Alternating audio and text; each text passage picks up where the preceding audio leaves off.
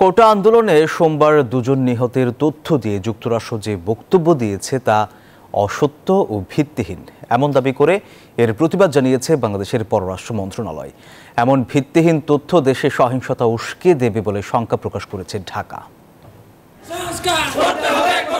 বাংলাদেশে কোটা সংস্কার আন্দোলনে বিভিন্ন স্থানে সংঘর্ষের ঘটনায় উদ্বেগ জানিয়েছে যুক্তরাষ্ট্র।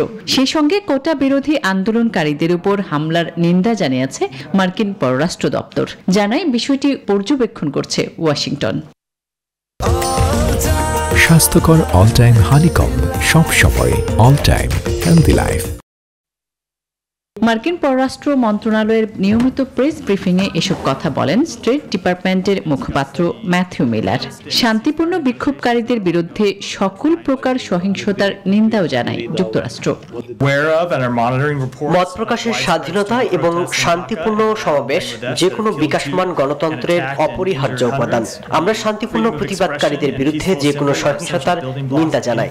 তবে ম্যাথিউ মিলারের এমন বক্তব্যে হতাশা প্রকাশ করেছে বাংলাদেশের পররাষ্ট্র মন্ত্রণালয় জানায় দুই শিক্ষার্থী নিহত হওয়ার যে তথ্য দিয়েছে মার্কিন পররাষ্ট্র মন্ত্রণালয় তা ভিত্তিহীন ঢাকা শঙ্কা প্রকাশ করেছে এমন ভিত্তিহীন তথ্যের ব্যবহার সহিংসতা বাড়াতে পারে এবং বাংলাদেশ সরকারের প্রচেষ্টাকে দুর্বল করতে পারে We are extremely disappointed by the response of Mr. Matthew Miller, where he made unsubstantiated claims of at least two deaths from the ongoing student protest in Bangladesh.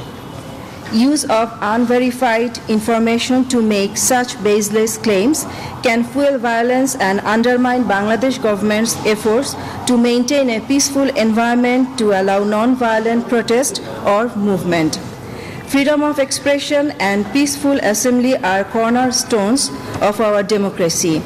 সরকারি চাকরিতে কোটা ব্যবস্থাকে বৈষম্যমূলক অভিযোগ করে তা সংস্কারের দাবি তুলে গেল পয়লা জুলাই থেকে বিক্ষোভ করছে শিক্ষার্থীরা। তবে পনেরো জুলাই আন্দোলনকারী ও সরকার সমর্থিত শক্তির সাথে সংঘর্ষের জেরে পরিস্থিতি অশান্ত হয়ে ওঠে।